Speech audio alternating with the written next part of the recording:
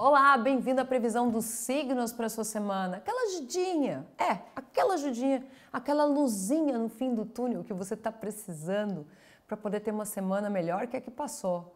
Começar ela bem e terminar ela melhor ainda. Só eu preciso te avisar, se você sabe qual é, em qual signo ou signos está tua lua, teu sol, teu ascendente, escuta todos eles com o foco certo. Sol, pensamento, lua, emoções, ascendente, atitudes. Ah, eu não tenho ideia de como é que isso funciona, queria saber, gosta do meu trabalho, ama astrologia, não fez o teu mapa astral ainda? Como assim? Tá esperando o quê para ter acesso a essa ferramenta que é totalmente individual, que analisa a partir dos teus dados de data, nascimento, horário e local.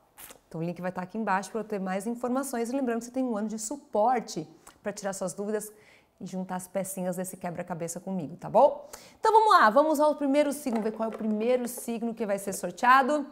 Câncer. Temos cancerianos por aqui. Coloca para mim aqui embaixo se você é do signo de câncer. Se você conhece alguém que é desse signo, chama para cá, compartilha. Então vamos lá. Cancerianos, não é fácil nascer em um lar corrompido pelo ódio e mesmo assim ali buscar florescer o amor. Respeite o direito à escolha, o livre-arbítrio e aceite aquilo que não pode mudar pelo fato de outras pessoas não quererem ou não estarem maduras para esse aprendizado. É, Canceriano, eu sei que você é todo coração, que você dá o seu melhor para querer ajudar as pessoas, mas que as pessoas realmente nem necessariamente elas estão querendo. Então, pare de ajudar quem não pediu, tá ok? E faça o teu melhor com as condições que você tem, aonde você estiver onde você estiver. E quando você fizer isso, sabe quem vai estar do teu lado? Hum, tá bem, hein? Helena Blavatsky, dá licença, que diz para você usar sua inteligência e entender que existe uma força maior por trás de tudo isso que está acontecendo, que faz as pessoas passarem por esse tipo de aprendizado e que às vezes não tem nada a ver contigo, tem a ver com as escolhas delas, certo? Valeriana Diz para você manter o bom humor e abandonar o estado de vítima. Ai, ai, ai, luz amarela piscando para você. Aprenda a enxergar o lado bom que está presente em toda e qualquer experiência. Tudo que chega até nós tem o propósito de nos ajudar a melhorar como pessoa, a crescer, a evoluir. Do contrário, hum, você vai sofrer de novo porque você não aprendeu a lição. E olha o que está sendo pedido para você essa semana: olhar a tua vida financeira o quanto que você anda gastando, o quanto que você anda investindo. Lembra que gastar é botar o dinheiro e ele não retorna. Investir é botar o dinheiro no lugar certo que te traz retornos. Você já pensou em fazer o teu mapa da riqueza para saber o, o local certo para fazer retorno? Certo para você? Não? Então aqui embaixo tem um link que vai ter mais informações. Vai lá. Agora é contigo. Próximo signo, touro. Temos taurinos por aqui. Coloca para mim aqui embaixo hashtag sou touro. Se você conhece alguém que é desse signo, chama para cá, compartilha. Vamos lá. Qual que é a mensagem que saiu para vocês? Nada do que está acontecendo é à toa, taurino. Tudo está interligado e há um porquê. Mesmo que a gente não saiba, que a gente esteja às cegas, cabe a nós confiar na proposta de evolução divina. Então você pode ou estar atravessando por esse momento, ou alguma coisa acontecer que parece que tire seu chão, que você não consiga enxergar com clareza o que precisa ser feito. Confia. Confia que na hora certa você vai descobrir, você vai saber o que que é e você vai conseguir se libertar. E aí você vai ir em frente com toda a segurança, a tranquilidade que você busca e que merece. E Melquisedeque diz que quando você fizer esse movimento vai ser tão forte, mas tão forte que representa uma iniciação na tua vida. Confiar é uma iniciação para você. E qual é a planta que vai te dar aquela forcinha? Salsa parrilha, que diz que a formação de um caráter correto, ético e bondoso nos ajuda a viver com a consciência tranquila. Então esteja com a sua consciência tranquila, porque quanto mais você cultivar esses valores do caráter, da bondade, da ética na tua vida, mais as coisas tendem a fluir de uma maneira mais leve, sem que você tenha que atrair situações mais enroscadas. E é a hora de você ser tolerante. Tolerante ou com as pessoas, com o que está acontecendo ao seu redor, tolerante consigo mesmo, com o que tem se passado com você. Isso muda completamente as regras dos jogos daqui para frente. Então, faça isso e observa o resultado. Contigo. Próximo signo, Sagitário. Temos sagitarianos por aqui? Coloque para mim aqui embaixo hashtag sou Sagitário. Se você conhece alguém que é desse signo de Sagitário, chama ele para cá, compartilha. Então, vamos lá. Tensão Sagitariano. Ajudar uma pessoa a trilhar o seu caminho é diferente de fazer o percurso por ela. Oh, totalmente diferente. Então acorda, acorda que não adianta você querer carregar as pessoas no teu colo, porque um elas não vão valorizar, porque provavelmente elas não vão reconhecer o teu esforço. E dois, é ela que tem que trilhar o caminho e não você. Então separa o que é teu do que não é teu e não entra dando voadeira querendo defender quem nesse momento nem pediu para defender ainda. Tanto que Confúcio está vindo pedindo para você honestidade. Então, seja honesto diante daquilo que está acontecendo e peça que a pessoa também seja honesta, para que você saiba se você está infringindo e ultrapassando a linha do que deveria estar tá sendo a própria pessoa a fazer e não você. Tilha diz para você fazer da oração um hábito e você vai então cada vez saber o rumo a seguir. Então, se você está na dúvida se deve ou não ajudar, entre em conexão, ore, faça conexão de quatro etapas, busque sim cada vez mais estar em sintonia com os seres que você acredita e se escute. Ao se escutar, você pode encontrar sim essa resposta que vai mudar os teus comportamentos, as tuas atitudes. E aí, quando você perceber isso, é hora de agir. Aí é hora de entrar em campo, tá bom? Agora é contigo. Próximo signo, qual será? Capricórnio. Temos capricornianos por aqui? Coloca para mim aqui embaixo hashtag sou Capricórnio. Se você conhece alguém que é desse signo, chama para cá, compartilha. Então vamos lá, atenção capricornianos. Permanecer parado no mesmo lugar não vai ajudar você a cumprir os seus acordos espirituais. Ah, eu sei que às vezes pode parecer meio esquisito, mas ah, em time que está ganhando a gente não mexe. Mexe sim. Tudo pode ser melhor do que já está. E se você simplesmente decide ficar parado, não querendo fazer esse movimento, você está indo contra uma lei natural da vida, que é a lei da evolução constante. E nessa hora, mais cedo ou mais tarde, você vai ser puxado a orelha para entrar em movimento de novo. Então, ficar parado não te ajuda nada. Tanto que Satya Sai Baba diz para você encarar essa verdade de uma vez por todas, porque você precisa seguir em frente e ficar onde está agarrado, apegado, não contribui. É preciso se adaptar, as novas mudanças estão vindo e estão pedindo isso de você. Tanto que Marapuama diz que nesse momento meditar é a melhor atitude a ser tomada. Então não sabe bem qual direção ir? Para, respira, medita, Olha para dentro de você, que a resposta está ali dentro.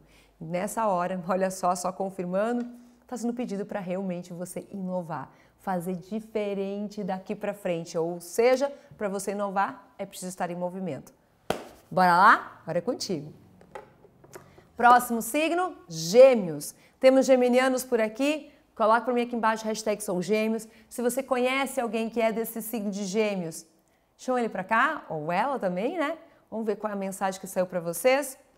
Algumas vezes a vida nos oportuniza situações em que podemos reunir em um só grupo de pessoas os nossos maiores aprendizados.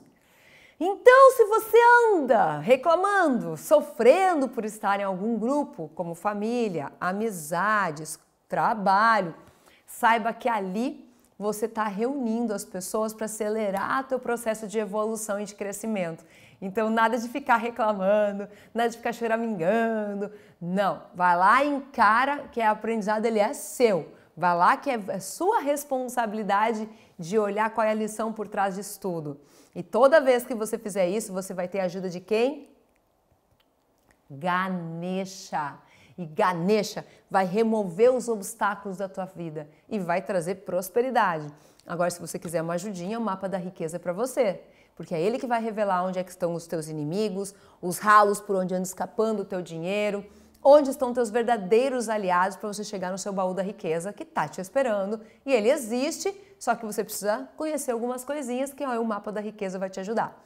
É contigo, tá bom? Eu vou deixar o link aqui embaixo para você. Babosa diz que é tempo de regenerar a mente e o corpo, mudando os teus pensamentos. Então, os teus pensamentos estão te ajudando ou te atrapalhando? Os teus pensamentos te levam para um próximo nível ou te mantêm pequenos? O que, que você precisa fazer? Mudar o teu mindset. A leitura ajuda isso, a conversa com pessoas que já chegaram onde, che onde você queria. Busca fazer network. E é hora de se doar. Daqui a pouco você doar o conhecimento que você tem dentro de você para essas pessoas, abre as portas para que elas façam o mesmo em relação a você. Fica a dica. Próximo signo, Ares.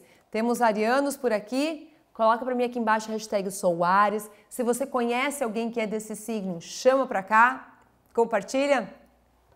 Então vamos lá, arianos. A verdade mostra onde você precisa crescer. Ui. Aceite o que é revelado e aceitar isso vai definir o aprendizado ser baseado na sua vontade e não devido às circunstâncias. O que, que isso significa? Que se você entende os sinais e você vai lá e faz o que tem que ser feito, o universo entende que não precisa criar outras situações, muitas vezes mais complicadas, para chamar a tua atenção. Então, se você faz, faz a sua parte, o universo relaxa. E aí a vida também não fica mais leve e não tão complicada. Então, aceite o desafio que está sendo colocado para você nesse exato momento e vai lá e faz o que tem que ser feito. Mãe Maria vai estar tá junto de ti e a Mãe Maria diz para você se resignar diante desses aprendizados, estar sob missão. Estar sob missão é cumprir a sua missão. Estar aqui buscando se tornar uma pessoa melhor dia após dia. Então, toda vez que você brigar com isso, quem vai sair perdendo é você. Essa é a verdade. E a cana do brejo diz que você poderá realizar grandes projetos se utilizar seus canais de sensibilidade. Ouvir a tua intuição. Vamos dar uma paradinha e vamos escutar, para de brigar com o que está acontecendo, segue, faz o que precisa ser feito e te prepara porque vai desabrochar a intuição para você. Essa intuição vai vir com tudo. E na hora de olhar e relacionar com as pessoas, procura desenvolver esse amor incondicional, se colocar no lugar do outro e entender que para você às vezes agir é fácil, o que não é para todo mundo. Então às vezes você agir pela pessoa não está ajudando ela está tornando ela dependente de você. Permita que ela ande com as suas próprias pernas, combinado? Experimenta isso? Contigo. Próximo signo, peixes. Temos piscianos por aqui. Coloca para mim aqui embaixo hashtag sou peixes. Se você conhece alguém que é desse signo, chama para cá, compartilha. Então vamos ver qual é a mensagem que saiu. Preencher o vazio existencial com material só piora a situação, pisciano. Retorne à sua essência, busque a paz em seu coração.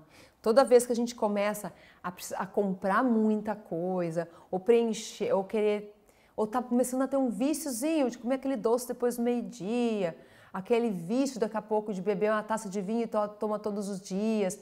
O vício e preencher é, é uma busca, é, uma, é uma, uma atitude inconsciente de busca de preenchimento de um vazio que está dentro de ti. Então é hora de você se cuidar, é hora de você olhar para você, entender o que está acontecendo para que você possa se preencher de amor próprio. Quando você estiver preenchido desse amor próprio, isso tudo vai cair por terra e aí as coisas voltam ao normal. O Babad diz que isso tem muito a ver com o aprendizado de uma imortalidade da sua alma que com certeza é uma coisa que você não aprendeu lá atrás e que está desembocando essa vida hoje, para que você continue nesse processo de aprendizado e fixar esse aprendizado na tua vida. E a insulina está pedindo para você abandonar de vez o excesso de ambição material, a prepotência e dar lugar à expansão da consciência, encontrando a verdade da sua alma. Então pare, medite, reflita onde estão essas respostas estão dentro de você, não ao seu redor. E é hora de perdoar. E perdoar pode ser perdoar uma versão do seu eu, do que você fez lá atrás. Hoje, você é outra pessoa. Então você não pode comparar. Não pode. Você hoje é uma pessoa melhor que o passado? Sim, então parabéns. vai daqui para frente. Busca aprender com o que aconteceu lá atrás e vira essa página, tá bom? Próximo signo, Leão. Temos leoninos por aqui. Coloca para mim aqui embaixo hashtag sou leão. Se você conhece alguém que é desse signo de leão, chama para cá. Então vamos lá, leoninos. A cada avanço na sua evolução, maior será a cobrança. Então você está crescendo. Essa carta mostra que você está evoluindo. E vão vir testes para ver se realmente você fixou esse aprendizado. Então não acho que seja nada contra você, não. Muito pelo contrário. É o universo só querendo ver se você entendeu. É que nem na escola, a gente aprende o conteúdo, depois a gente tem uma avaliação para ver se entendeu. A vida também é assim. Tanto que o Dalai Lama diz para você olhar para dentro da sua vida e exercitar a compaixão. Quando você exercitar essa compaixão e entender que é apenas um teste, não é nada pessoal, a paz se instala dentro do seu coração e você segue em frente mais forte, mais decidido, com a tua autoestima blindada. E o boldo diz que a sua forma de pensar pode estar trazendo algumas energias densas ao seu campo energético. Tome posturas saudáveis. Então observe, fique no orar e vigiar do que se passa dentro do teu pensamento. Esse pensamento tem que ser teu aliado e não teu inimigo. E é hora de mudar. Daqui a pouco você vai perceber que essa qualidade dos pensamentos não está tão bacana quanto você imaginaria que poderia estar. Entendeu? Então fica no orar e vigiar e presta atenção. Próximo signo, Aquário. Temos aquarianos por aqui. Coloca para mim aqui embaixo a hashtag sou aquário. Se você conhece alguém que é desse signo, chama para cá, compartilha. Então vamos lá, aquarianos. Amar é, acima de tudo, escolher o bem, não importando a quem. Realizá-lo sem esperar nada em troca. Você tem uma postura extremamente desapegada e livre. Então procure amar as pessoas também nessa mesma pegada, de não esperar que elas devolvam, retribuam isso. Procure tomar uma atitude genuína, incondicional e não condicional. Ah, eu te amo só se tu me der um carro. Seria bom, mas você entendeu. O que eu quero dizer é que amar as pessoas, principalmente nos momentos em que elas Hum, parece que menos merecem o nosso amor, é inclusive um ato de altruísmo, de doação. Pensa com carinho sobre isso. E a Isis diz que pode ser que você atravesse por fases muito conturbadas nesse momento para poder ver os extremos, porque você só vai conseguir saber onde é o meio dessa mesa, onde você por causa que você sabe onde começa, onde termina. Porque se você não tem os extremos dela, você não consegue medir o meio. E assim é na vida também. Então pode ser que você passe por situações bem contrastantes para saber onde começa onde termina. Se amar e se amar demais, para achar um meio termo. Qual é a planta que vai estar contigo? Lima, que diz para você se entregar à sensibilidade emocional e encarar seu karma com coragem, com determinação. Muitas vezes a gente acha que ele é tudo isso, mas não é. Se você decide e olhar com ele, olhar ele mais de perto com carinho, você consegue perceber que é muito mais fácil de lidar com o que você imagina. Tanto que isso tem a ver com mudanças de pensamento, de rever então as tuas crenças a respeito daquilo que você acha que é difícil. Às vezes é muito mais difícil porque a gente considera difícil, a gente dá esse significado de difícil. Quando você tira esse peso, fica leve. E aí, quando menos você percebe, você vai lá e faz o que tem que ser feito. Tá bom? Próximo signo, Libra. Temos librianos por aqui. Coloque para mim aqui embaixo hashtag sou Libra. Se você conhece alguém que é desse signo, chama para cá, compartilha. Então vamos lá. Librianos. Somos os responsáveis por manter a nossa vibração mais elevada possível. Essa é a maior verdade do mundo, porque a energia é o nosso cartão de visitas. Se você não está cuidando da sua energia, se protegendo e você é bastante sensível ao que acontece nos ambientes, nos relacionamentos, isso te afeta muito. Então, a chance de você acabar levando coisas que não são tuas contigo para casa, por exemplo, é muito grande. Então, orar e vigiar na sua própria energia. Proteja-se. Analisa se isso pertence a você, se não pertence. Se não pertence, simplesmente solta. Te entrega. E a Lakshmi vai trazer para você fortuna, beleza e sorte nessa semana. Você já pensou em fazer o seu mapa da riqueza para descobrir onde é que estão teus ralos, os inimigos, onde que estão teus verdadeiros aliados para chegar no teu baú da riqueza? Gostou, né? Vai estar tá aqui embaixo um link para você ter maiores informações para tomar decisão se você quer encurtar esse caminho ou não. Agora, Lakshmi traz inclusive então essa semana um convite para você cuidar da sua beleza, fazer aquele cortezinho de cabelo, que daqui a pouquinho, por que, que não comprar aquela roupa que você está querendo? Vai lá que agora é contigo. A Estévia diz para só tomar cuidado para não avançar no sinal vermelho. Aceite seus limites e os espaços das outras pessoas. Não invada, mesmo que você queira ajudar. Às vezes a ajuda só mais atrapalha do que na verdade contribui. Então, aceite que nem sempre você vai poder fazer alguma coisa pelas pessoas, pelos limites que a própria pessoa impõe para você. Aceitar isso é fundamental. Combinado? Agora é contigo. Próximo signo: Escorpião. Temos pessoas do signo de Escorpião por aqui. Coloca mim aqui embaixo hashtag sou escorpião. Se você conhece alguém que é desse signo, chama para cá. Então vamos lá, pessoas de escorpião, qual é a mensagem que saiu para você nessa semana? Quando não somos gratos pelo que temos e olhamos apenas o lado negativo da vida, não há como o universo trazer oportunidades para mudarmos a nossa realidade. Então, o que está sendo pedido para você nessa semana? Mude a sua forma de ver as situações. Mude a forma com que você enxerga. Porque você tem um imã poderoso na sua mente. Se você só vê o lado ruim, negativo, você se torna um imã para mais disso chegar perto de você. Por isso que quando nós mudamos, muda tudo ao nosso redor. Então mude o teu pensamento.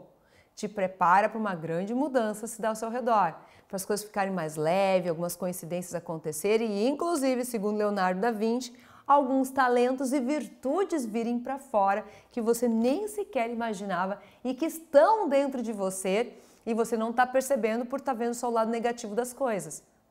Topa experimentar isso? Focar no lado positivo das coisas essa semana? E anis estrelados que você tá, pode estar tá muito explosivo. Ei, cuidado, hein? Luz amarela para você. Pratique a tolerância e elimine o estresse. Relaxe, permita descansar.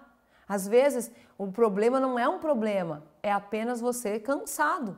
Tanto que é hora de dar limites. E esses limites pode ser dado para as pessoas ou para você mesmo. Você percebe qual dessas situações está mais forte aí, tá?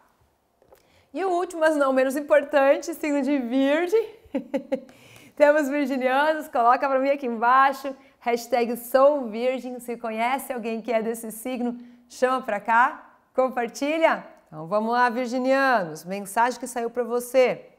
Existem pendências, por isso atraímos pessoas e situações desafiadoras.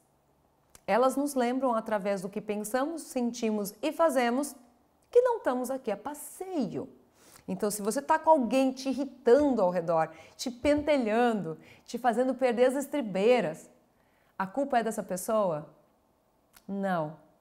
Não existe vítima, não existe culpado, não existe vilão. O que existe são aprendizados. E cada pessoa que chega até nós, ela é atraída por um imã que está dentro de nós. E se você não quer mais esse tipo de pessoa para perto de você, você tem que mudar o imã dentro de ti. Então muda esse olhar que aí as coisas vão mudar tudo ao teu redor.